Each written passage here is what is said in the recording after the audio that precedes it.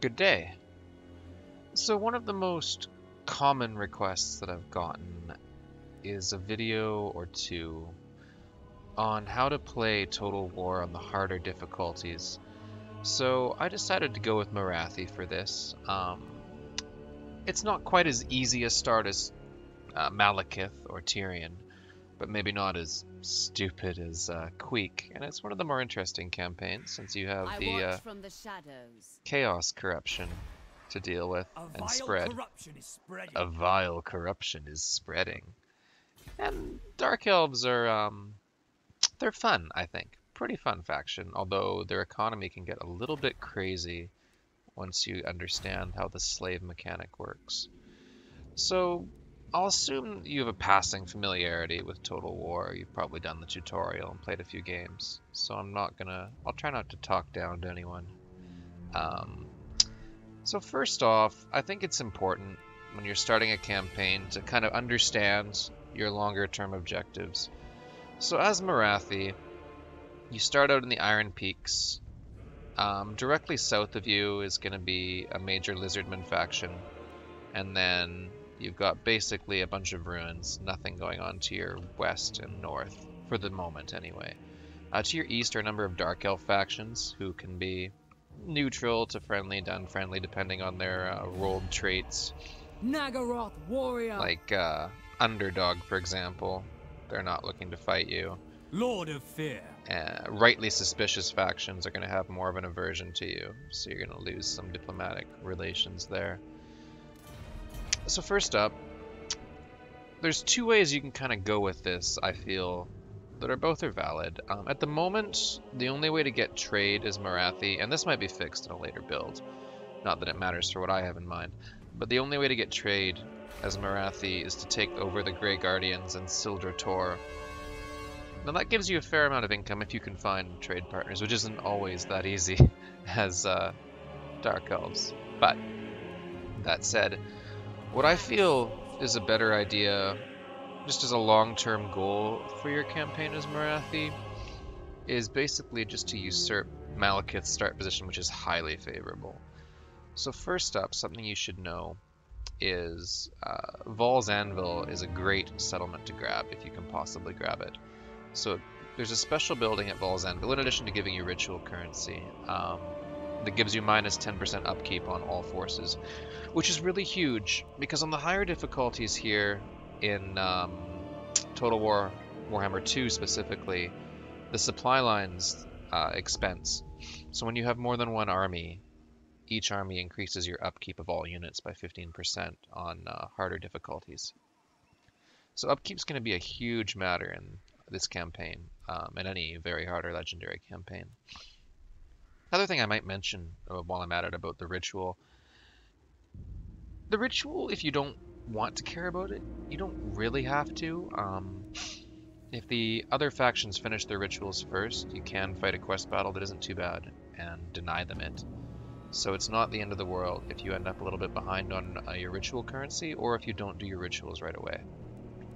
It can be advantageous to do your rituals because it does give you a significant diplomatic boost with your own faction.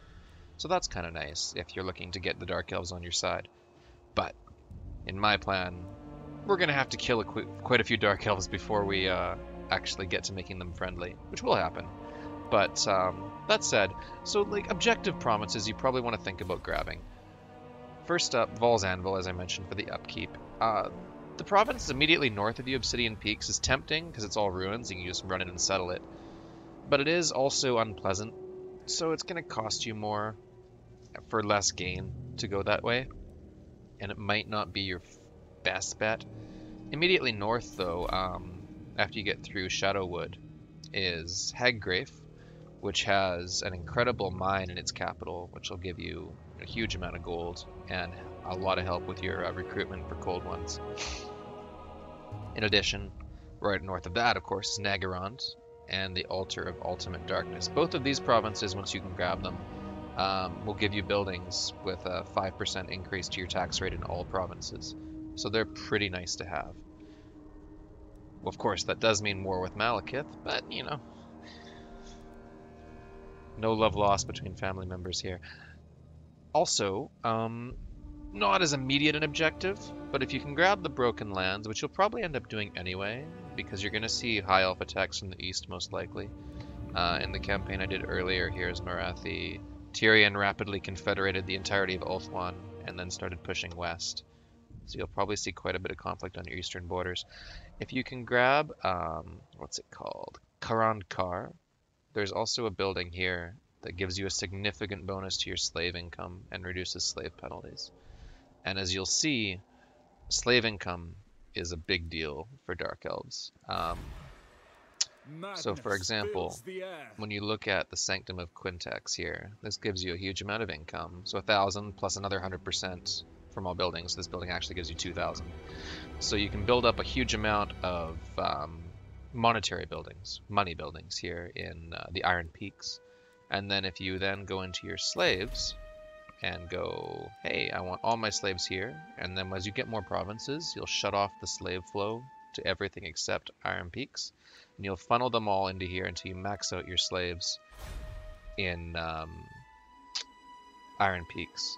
And then what that'll do, the bonuses can get pretty intense pretty quickly. Once your slaves are maxed and your city's built out, you can get easy plus 300% income. So this province alone can start pumping out 20,000 gold per turn, which is a little bit nuts actually. So that's kind of the main goal with slaves is to funnel them into provinces and then build buildings to support that like the slave markets and so on. Anyway, so early in the campaign, I think the most important thing right away is you need to get rid of this army, even though it out auto calcs you. So this first battle you're going to need to win. That's pretty much all there is to it. So the first thing you'll want to do, you do get a Khainite Assassin, which you'll probably want to attach to your army right here. You could go for assault units too, that's 50-50 though. Um, so it has a decent chance of not working out for you. If you just put him into the army, uh, he can start getting some experience just from fighting and also help you win the battle. I am Morathi. I am Morathi herself, as a legendary lord, starts out quite weak. So she's got very little armor, very little in the way of resistances, uh, a little bit to magic, but very little to physical. So if she gets into close combat, she's quite vulnerable with her low hit points. Um, and her low damage and melee output, it's okay, but not like show-stopping right now. So she's more of a caster at this point. As you get into her uh, talent trees, you'll find, well, skill tree, I should say. This isn't World of Warcraft, but uh, the um, she becomes quite a decent hybrid lord. She'll get a decent amount of resistances. You can grab her a thousand and one dark blessings, so she's looking at 30% physical resist. Uh, enchanting beauty and her heart render in the dark sword will give all the opponents near her minus 18 melee attack, so she can actually become quite durable, especially if you go into spec into survivalist. And um, so she becomes a decent caster as well because she has talents like blessed by evil that uh, reduce the cost of all of her spells that you can pair with these. And she does get three traits, uh, three uh, spell lore traits like life leeching and uh, spiteful conjuration, so she can become quite a powerful caster as well. She works well as a hybrid lord because with Heart Render you'll notice a significant increase to her charge bonus. She already has a decent charge bonus on foot. It becomes 85 with her Dark Pegasus, and you can grab Impaling attack for even more charge bonus. So basically, she's extremely killy on the charge. Um, you can get her damage up quite high, and she has a significant bonus versus large. So she can rapidly destroy things on mounts with her armor piercing. And also put in a huge amount of, uh, with Akarti's Blessing, Power Drain, Blessed by Evil, she can put out a lot of spells as well. So she's quite a versatile lord, but at the moment you'll find she's quite weak. So you're going to have to work around that. Mother of the Druchii. Mother of the Druchii. In any event, so as I mentioned, it's important to win this first Denied. battle, because on very hard, your opponents, so let's say Mazdamundi, Tyrion, you're kind of the threatening opponents here, they're going to be working quick. Same with Malekith. They're going to be rapidly expanding and uh, creating huge empires that can create a lot of stacks of armies to fight you. So it's not really going to go that well for you if you're sitting here turtling for a bit with only one town. You need to get your empire carved out fast so that you can start um, building uh, your armies up rapidly enough to compete with that. Druchii. Otherwise, you probably end up forced back. Mother of the That said, this battle you really need to win, so I'm gonna go in the and show you this. For the Druchii. So looking here at this battle, it's a choke point battle. So you're the attacker. The AI, for the most part, in these defensive choke point battles, is going to hang out here at its choke points and not come out to challenge you overly. At the moment, you can see the majority of their armies deployed over here on your right. So first up, uh, organizing your armies. What I would suggest is just for ease. Although if you if you want to pause the battles too, it certainly makes it much easier not to do this. But just as a, a learning, maybe if you're going into Legendary doing multiplayer at all, one thing that I find very helpful, um, if you press the G button, you can put units into groups. So for example, um, if I select my Dread Spears, then Control click the others, grab them both. Uh, press G, now they're locked into a group. And uh, with their group lock on, they'll stay in this formation even if you move them around, or if you order them around. You can also press Control G to unlock the formation, and that's helpful if you're looking to move around. Um, one thing you can also do, like if you like, it's kind of easier if you're not feeling as confident about it, and it's just more convenient for you. You can, if you put your whole army into one group like this, if you just want to march them around, if you put them all into one group, now they're all in one group C1 with the lock formation, then you can order, you can move them around freely and they'll stay in that formation. Even if you order them around. So that's kind of helpful, just as far as controlling your troops that I notice a lot of newer players don't do. Um, what you can do if you want a bit more control, rather than putting them all into one group, is uh, so if you grab your Dread Spears, uh, you can put them in one group like this, and then if you want to control your crossbowmen, you put them in another group, and then let's say you want Morathi by herself, so you can grab her spells just by pressing 4 uh, on your uh, control group on your keyboard there. You can rapidly switch between controlling all your units.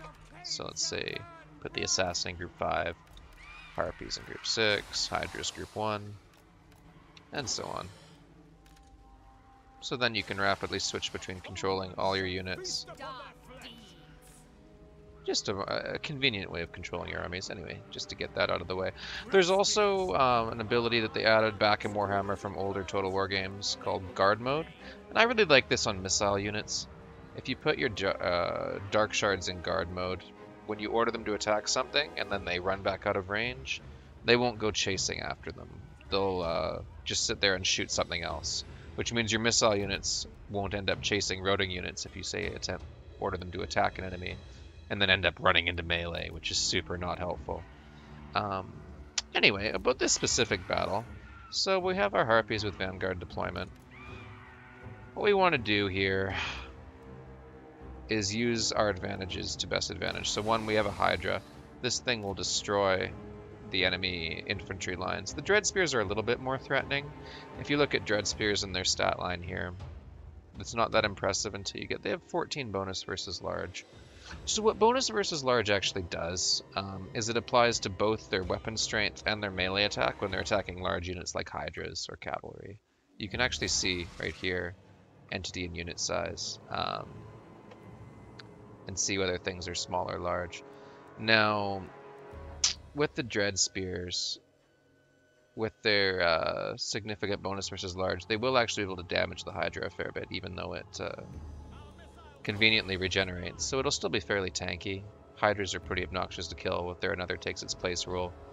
Um, but you'll probably want to focus your spells and shooting on getting rid of uh, the more threatening things to your Hydra here. Because the Bleak Swords, the Sword Infantry, are just going to get completely wrecked by this Hydra. Which is convenient. There's also Shades, uh, you might have seen in the uh, enemy army list, two Shade units, so they're stealthy kind of like your assassin here. They have stalk, so you have to kind of be aware of that as well. Um, so first up, when we start this out here, and like you might have seen in the tutorial for the game, altitude's always an advantage. So if you can fight them downhill, even this slight slope, it does give you a slight advantage to accuracy and melee attack. Alright, let's start this up. So we do need to be aware of the enemy's artillery range as well, although this rock kind of might obstruct them, because there's a physics engine in place here. So let's move these guys up, move up our uh, crossbows. Um, when you right click by default, your units are going to run. That does tire them out a little bit. What you can also do if you control click, instead of just right clicking, um, they'll walk. So that's nice for stalking units because they're less likely to be detected while moving slowly. Alright. So basically, what we want to do in this battle is get the best matchups we can. Pretty much like any battle.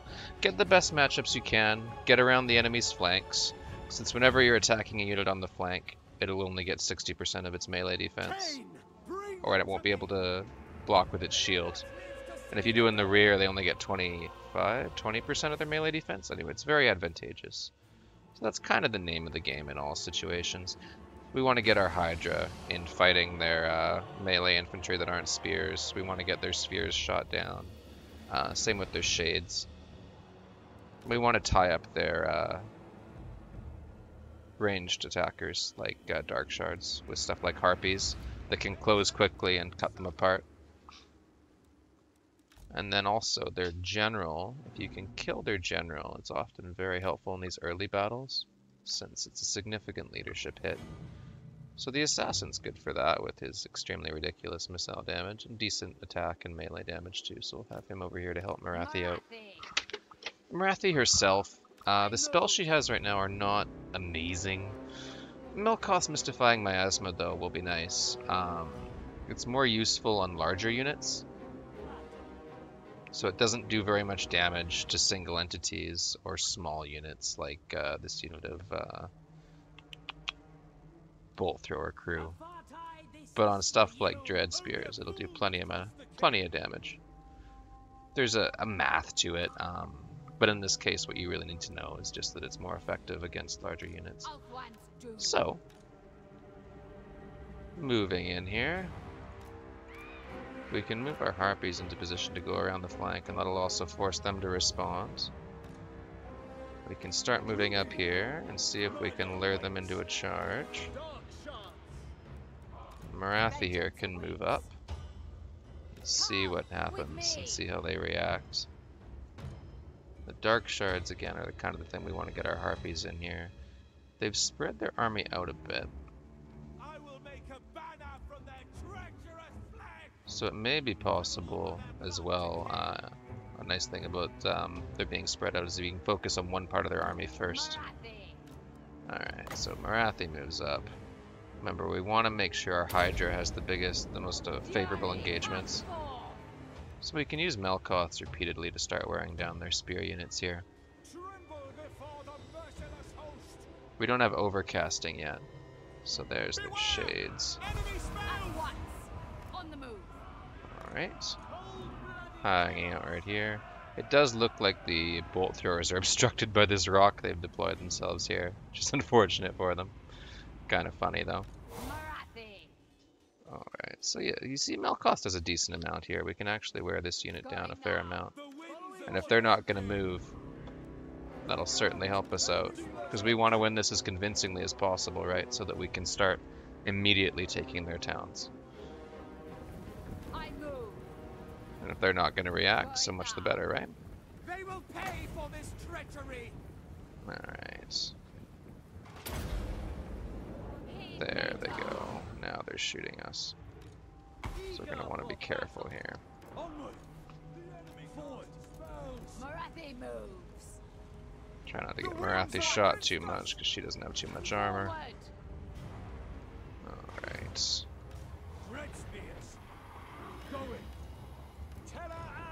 So ideally we're going to avoid getting shot too much here.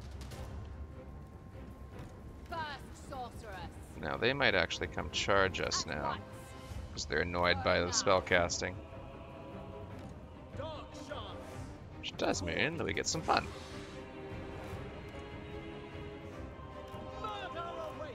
Alright. So we can keep trying to wear them down here. The Black Ark Corsairs are a little bit annoying for the normal units we have here, but not too deadly for our Hydra. Our Hydra also has the breath weapon it can start using here. And if they're going to start moving like this, that means our uh, Harpies have the opportunity to move in and do something dangerous. So let's use the breath weapon our Hydra has here. That'll get a number of kills right away. 30 kills, not bad, eh? That unit's almost wrecked. If we start running out of magic, you can also use Power of Darkness, which is don't have to use just a Morathi, you can use it on any of your units, which is pretty cool. Alright.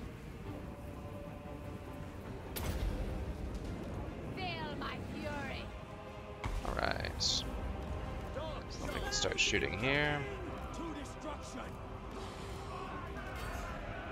Alright, let's get our Hydra in here. Move our Assassin up, who we want to use to kill their uh, general here. Get that going. Get our Hydra in combat. Let's move our Assassin up here. Morathi. Morathi move. And then our Harpies here are having a good day killing their artillery, and we can also send them after the Dark Shards. So their Dark Shards are broken now. We want to get rid of these Shades in a hurry too, because they're nasty dangerous. We can send our Morathi here in to deal with that as well. If we can get rid of the Shades, they do a lot of damage, but Shades are pretty vulnerable once they actually get into combat. And there go the Harpies getting rid of their other Dark Shards, which is nice. So the Shades can't fire while moving, so if you send Morathi over them, the AI is actually going to skirmish them away, which makes it not overly dangerous for us. And then their Dreadlord's fighting our Assassin, and he's winning, so that's awesome. Alright, and then our Dread Spears are fighting here. If we can pull the Hydra out of combat here for a moment, we can actually use its breath, which is nice. And then Morathi can keep using Melkoth's Mystifying Miasma to wear down the Shades. And then the Hydra can actually breathe into the rear here. Which will get us a ton of kills, 111 now. And then we can charge him into the rear. That's awesome. This battle's going interestingly. Murderous Prowess is actually about to proc, which is a Dark Elf ability, On the move. Going. which uh, is significant. Once enough casualties have been inflicted on both sides, you'll get extra damage and vigor. Let's move the Hydra over here to cover Morathi. Uh, our assassin's dying. That's unfortunate, but whatever, right? Onward! Let's see here. Oh, here comes the rest of their army. Let's back off here. Looks like their infantry ran, so we can send our spears out there. She's in a bit of difficulty, so let's move her away. Then get rid of these bleak swords. Here comes their Black Ark Corsairs back. Hydra should win that combat fairly handily. We've also got our uh, Harpies back, and they can go after these uh, shades here, I think. Yes. And we've also got our crossbows. We can take out the bleak swords, hopefully. I move. At once. And it's all just a matter of favorable matchups we can. Now, their general's almost dead, actually, so why don't we shoot her? Our assassin's back as well. Hydras are going after the shades, so they won't be able to do anything. That's good. That's going to be maybe a difficult combat for the Hydra, but maybe we can break it out with Morathi here. Alright.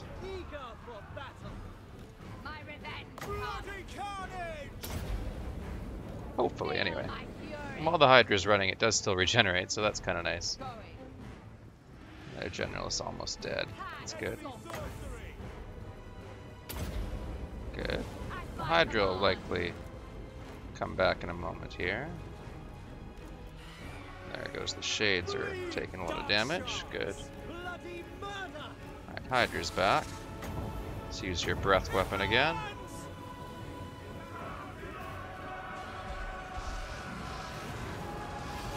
Hydra's got tons of kills now.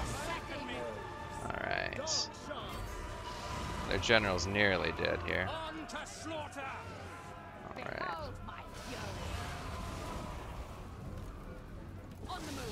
Then this unit here that's being obnoxious, we can probably get rid of with Morathi's spell.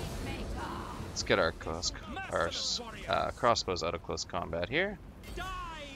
The Hydra also causes terror, and the way that mechanic specifically works is that when the enemy gets to 9 leadership or lower, they'll break instead of when they have, they don't actually have to hit minus 1, which is nice.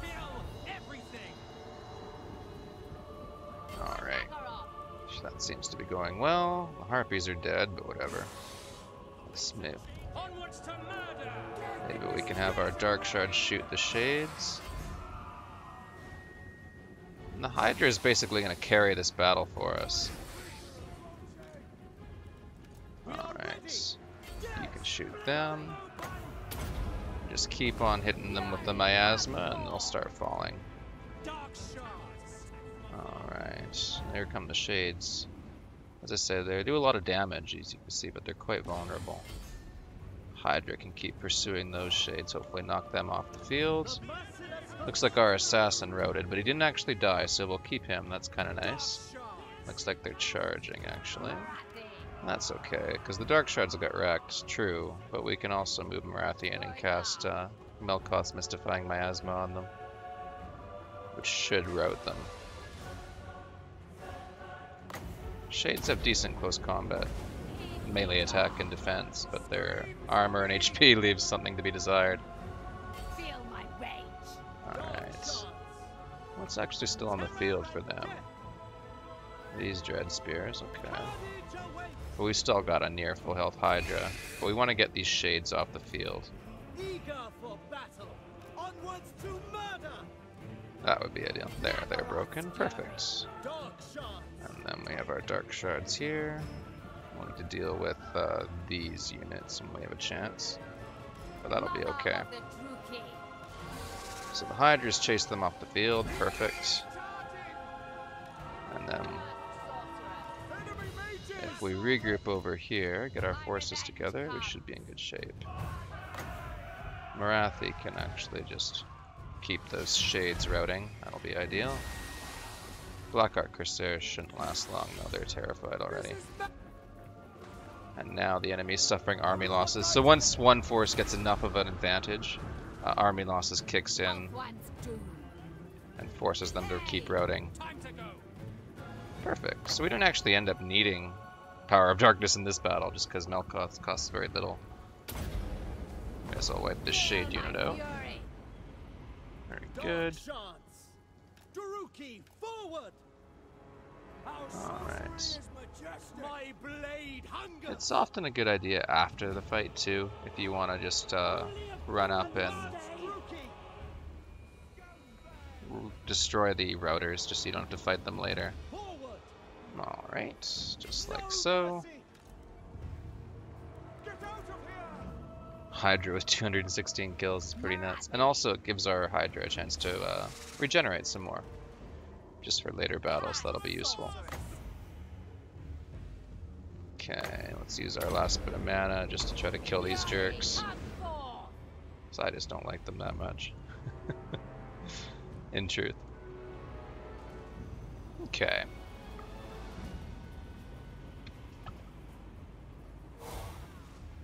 Perfect. Is she just rolling around? That's an interesting animation. I don't think I've ever zoomed in on her close combat animations on foot before. Oh well, maybe I won't see it. Doesn't matter. That's a good enough of a uh, up.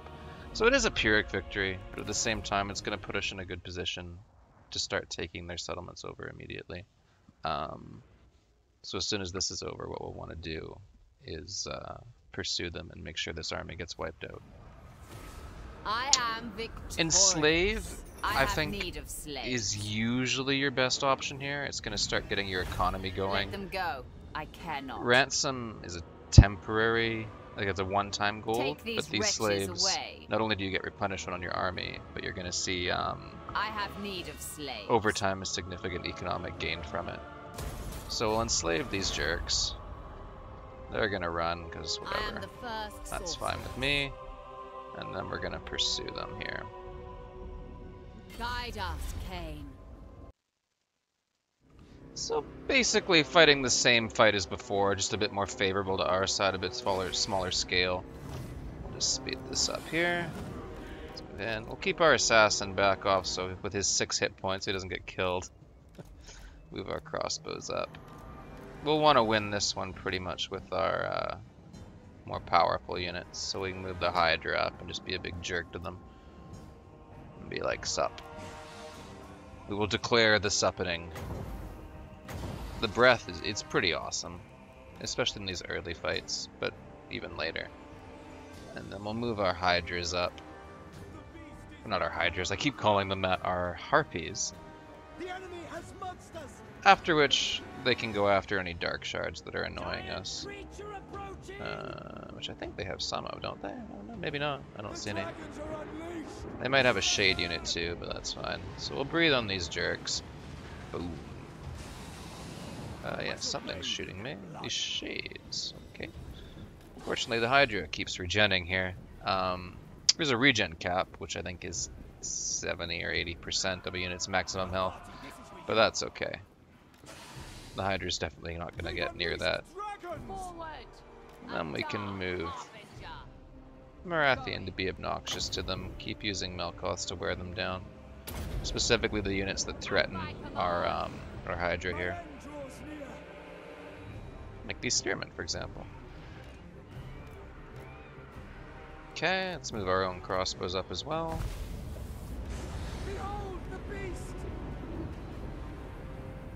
That should probably, once you hit them with enough spells or artillery, the AI usually charges. That's my experience. Um, so our Hydra has breath up again, which means we can obnoxiously breathe on them again. Get some more kills. Yeah, here they come. So we'll do that. That'll wipe them out. We'll charge the Hydra in. And then we'll have Morathi cast her spells on the Shades and send the Harpies after the Shades. We don't like the Shades much, if you're wondering, and then we'll try to move her out so she doesn't get shot to death. Let's move our crossbows up to deal with the um, Shades as well.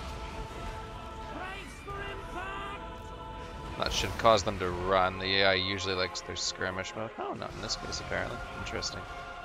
That's fine. Alright. Harpies probably won't win this fight, but that's okay. We'll back them off and then just shoot the shades to death with our crossbows. And then maybe a few more seconds. And we'll get uh, Melkoth's Mystifying Miasma on this spear unit that's threatening our crossbows. And then charge Morathi and that should get rid of them. These guys on guard mode. Keep shooting the shades if possible. Oftentimes in guard mode, range units can keep shooting even though they're in close combat, as long as they're in guard mode, so that's kind of nice. And then hopefully we can get rid of these dread spears that are annoyingly charging our ranged unit. So we'll keep the harpies out for now so they can later on replenish. The Hydra should be able to take care of all this infantry fairly handily by itself. Alright. Vengeance awaits. Give them Feel my vengeance. And we'll uh, charge them in the rear with Morathi. Remember, rear charges have a significant uh, leadership hit. Although our Dark Shards have annoyingly failed. That's okay. We'll shoot them with these ones instead. Oh, there they go. Now they're broken. Hydra's just having a good time murdering things. It doesn't care. Alright, looks like our crossbows are back. That's good. Go. And then we can uh, use some more Melkoth. Charge some more things in the rear. And bring our crossbows in to shoot them as well. Did you do that sliding attack again? That's kind of cool.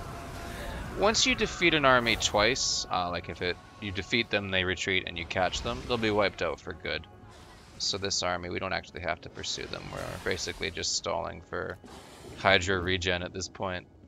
Um, but yeah, even if you ended it right here, they'll all disappear. We didn't even get a murderous prowess proc. Go figure. It's kind of funny. Any event. So, so with that, that'll give us the opportunity to uh, level Morathi up. So, there's a few things you can do here. Rope Marcher is always nice just for more speed and getting through your campaign. Uh, right now, it might not be a bad idea if we go and grab Melkoth's Mystifying Miasma. We're looking to get her magic capability up pretty quick here. Um, get some more useful spells, because that's kind of really where her strength lies. Early game, anyway. So once we can get Doom and Darkness and Soul Blight, that'll be useful for these early battles, um, especially with the low leadership in these early fights. Doom and Darkness can be pretty cool.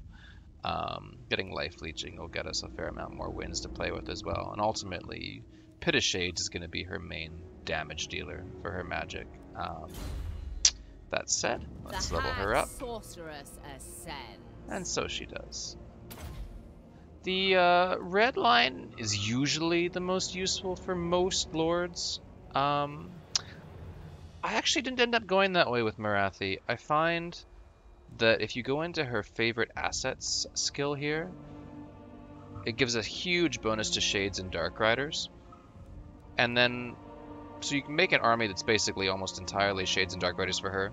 They all Vanguard deployment, so you can deploy very close to the enemy, and they're all very fast. So you can become a really quick strike, deadly army that does a huge amount of damage and doesn't need to worry too much about taking hits back.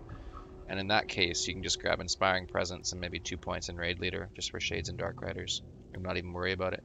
Because then everything else is just going to be a waste going through. Like, you don't really need what's good is Rally, right? These things are nice. It's nice for the range, but uh, I think with Morathi, she has a lot of good options in other things.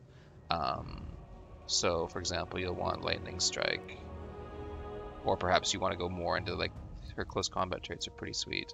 You can grab Deadly Onslaught, 1001 Dark Blessing. She becomes a really nasty debuffer and charger. Shroud of Despair is a hugely useful thing. Check this out. Enemy leadership minus 10 local region. So that stacks with Fear and Terror and Doom and Darkness for a huge leadership bomb. So Morathi can is a really easy time getting her opponents to run off the field. Um, with uh, favorite assets, she becomes pretty nasty. So that's kind of what I was thinking as far as my build, the way I built Morathi, and that worked really well for me on very hard, as far as making a really quick strike force that can easily wipe an enemy stack um, in no time flat. In any event, so uh, me and research right away. A vile corruption is I would suggest going. You have a few options here. You've got rating, post battle loot. You've got recruitment cost minus, um, extra things, leadership for Dread Spears, Bleak Sword. That's nice. Right away, though, uh, I would suggest grabbing Founded on Tyranny and then Revel in Suffering. That takes you 10 turns, but that gets your growth going fast. Now, growth is hugely important in the early game. You want to get out of having this very limited number of building slots and limited number of buildings. You want to get your level 3 and level 4 cities in a hurry um, for monetary reasons and unit reasons.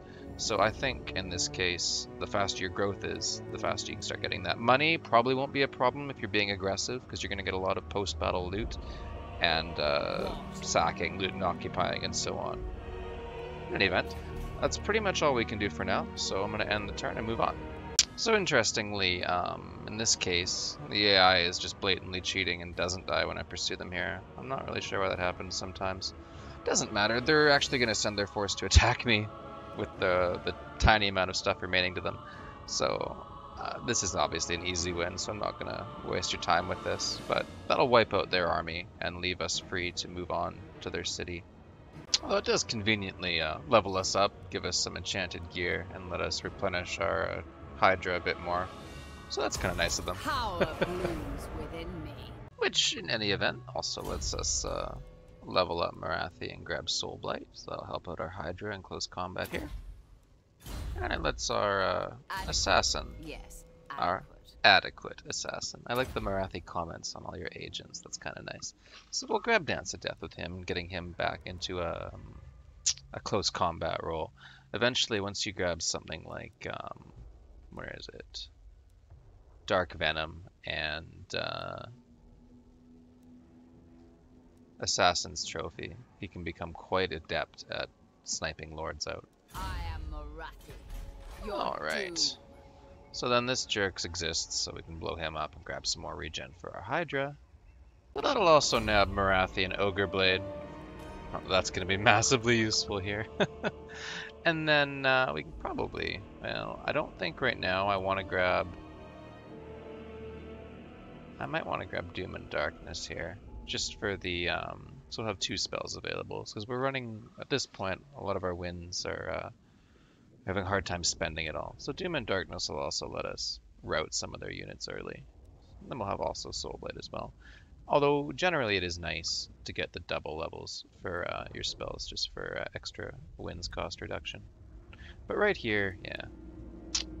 One thing I will note while I'm here, uh, Power of Darkness, I'm not massively inclined to pick this up because points come at a premium here for Morathi. She's got a lot to spend. And all that's uh, getting Power of Darkness here, you only have three uses, so that's going to save you a grand total of three wins over the course of any given battle, right? So that's not maybe the most useful one of you could ever get. Whereas like with Soulblight or Doom and Darkness upgraded, you notice how it reduces the wins cost here. Um, you're going to be saving a lot more wins over the course of any battle, since you'll probably end up casting those spells more than two or three times, and even then you're saving, you know, six instead of three. And uh, life leeching is always useful as well, just as far as having enough mana to throw around. So uh, we'll go with that for now. Doom and Darkness. And then, what's his name here? one here? is capable enough. Sabioth also leveled up, so we can start moving him in here. Weapon strength. He has lots of attack already, so I think weapon strength's the best thing for him early on. Um, since we're going to be keeping him with our army for now, because we need to, as I say, move quick. Although in this specific case, since he's taking The so much damage, it's probably a better call if he gets wounded like this, just to send him in to assault the garrison. I watch from the shadows. Failure. Well, no surprise Speak. there. Doesn't affect us at all. Anyway, so now we're just going to have our Hydra go in and solo the garrison. Pretty much. In any event, For glory. basically, the whole thing here has been to... All of this struggle to this point has been to try to take this settlement by turn two. We need to move as quickly as possible and get our first province at least set up and hopefully move on from there. So we need to win this battle too. So like before, we're going to set our units into groups. Um, so one Hydra, two Morathi, three crossbows, uh, four spearmen, and five harpies. As I mentioned, this fight's pretty much going to come down to the Hydra, but fortunately it's gained a bit of experience. You notice the little chevrons here. They increase melee attack, melee defense, and leadership uh, the more they go up. As your unit gains experience, they're killing things. Um, although I will say that in this game they've skewed it more towards melee defense because they're trying to slow the combat down a bit, which is a nice change. Um, so You'll notice now that when we double click Soulblight or double click Melkoth Mystifying Miasma, you can actually overcast it and then click again to get rid of that. Um, and what that does is it's going to boost the effects in some way. In this case, for it gets you extra cast range for an increase in cost for um, Miasma, and then with Soulblight, it's an increase in the duration of the debuff. It's an AOE that reduces the uh, enemy's armor and weapon damage. So right now, there's also a chance of miscasting. You'll notice miscast chance 50% for overcasting. Since Morathi's so low health, we're not going to overcast here because it's probably going to kill her if she miscasts.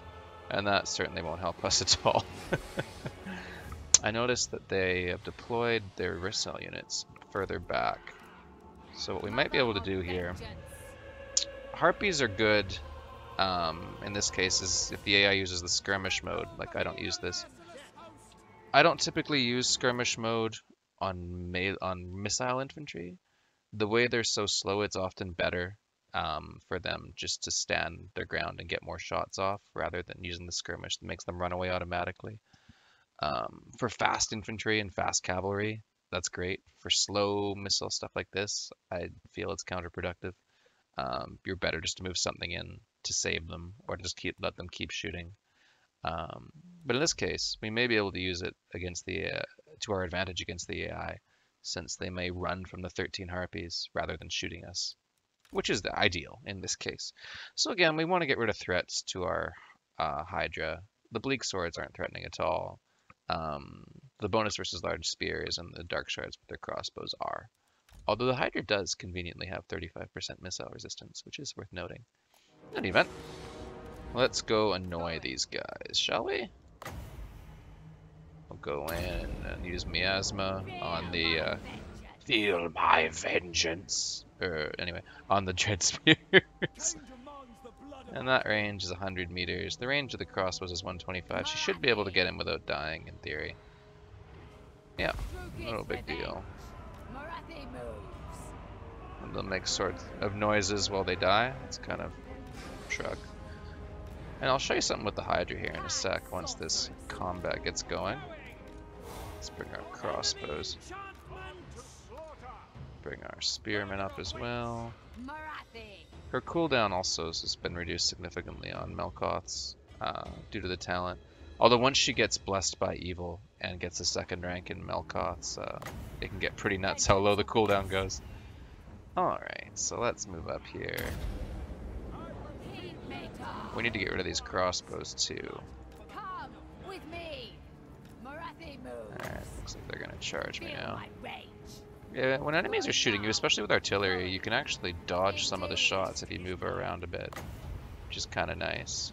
Right, here come the bleak swords, so let's grab the Hydra here. Breathe into that big mass of garbage, please. And then Morathi, if you can do that. Ha- Harpies, can you go get the dark shards? So we'll cast that. And then we'll charge the Hydra straight on in.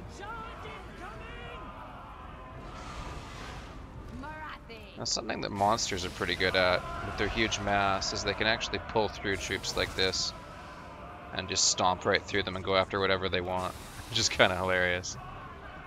Alright, so let's have our crossbows shoot these guys. The Harpies are actually going to manage to successfully chase these off, which is really funny. Matriarch. At once. Alright, spears want to do that, that works for me. Let's get Soul Blight in here. That'll reduce their ability to hurt our Hydra.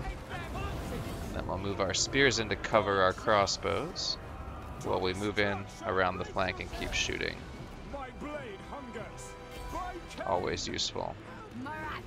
We'll move Morathi in the rear here as well. The Harpies are probably going to die to those um, Dark Shards, but that's okay. They did their job. These units are to get wrecked. The. Dread should rout here in a hurry. And that means we can have them shoot here. What are you guys doing? You silly kids. Should have put you in guard mode earlier. Alright, so they're toast. Perfect.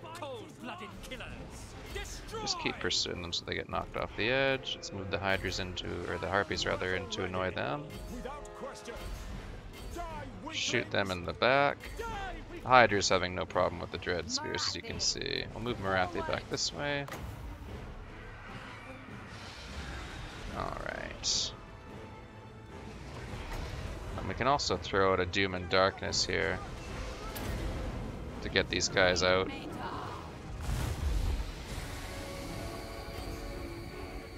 So they get super routed. That also lets our Hydra use the breath weapon they can't use in close combat. So shoot these crossbows. Oh, no, they're back, are they? Okay, that's fine. We'll use Melkoths on them.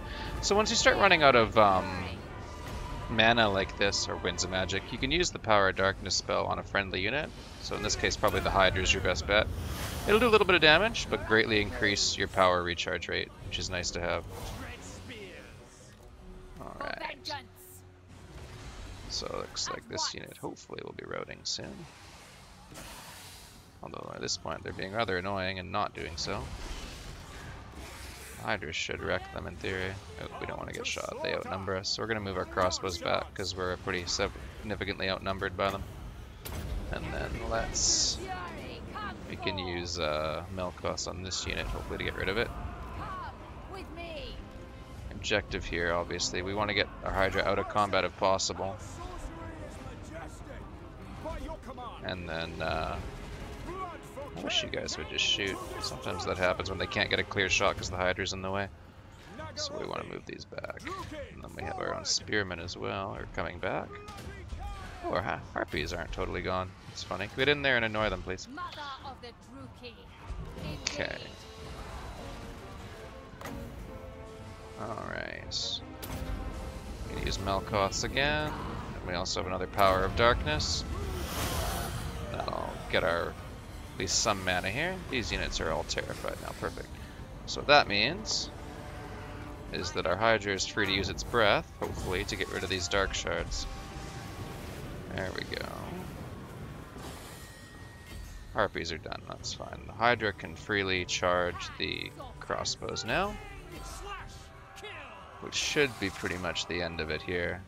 You notice the uh, murderous prowess bars filled up at the top pretty much here as well. So we can move our crossbows in and now, and move Morathi up as well. The battle's pretty well in hand at this point. Hydra's got them under control. They're gonna get terrified. Now they're wavering army losses because all their units are routing, and that's the game. Because um, units that are routing don't count towards having part of an arm, uh, your army on the field, and once enough of your army is, uh, once you're outnumbered badly enough by your opponent, army losses kicks in and you auto lose the battle. So then we can have our Hydra. Ooh. It's busy sync killing this guy while I completely don't zoom in on the animation. That's kind of cool. Perfect. And our Hydra is now uh, gold experience, which is awesome. I should mention, if you fight long enough, you get exhausted like this. Now, exhaustion is a pretty significant debuff once your troops, they go from fresh to active to winded to tired to very tired to exhausted. Um, exhausted is a minus 30% debuff to pretty much all your stats. You lose 30% speed, 30% attack, 30% defense, 30% damage, um, 30% armor, which is significant as well. So it's pretty bad. Um, if units rest for a bit, they can get it back, but you definitely want, ideally, to have fresh troops engaging tired enemy troops if possible. Although, if you're both exhausted, it evens out, so no worries there, although it does become a bit of a slog. Alright, so let's end that. That's been very successful. Perfect. So that's going to put us in a position here, uh, after two turns, where we're very well poised to quickly begin our breakout of our initial territory. Um, in this case, normally I would suggest looting and occupying. Gets you significant replenishment, gets you slaves. Uh, you can just pay to repair the buildings. Um, when you're trying to take over territory you want to take over. In this case, it might be better to do the occupy because we don't really want to have to stop right now to deal with a rebel army while we're trying to wipe out this uh, enemy force in a hurry. So I'm going to occupy this for now, although generally I would suggest looting and occupying for the slaves.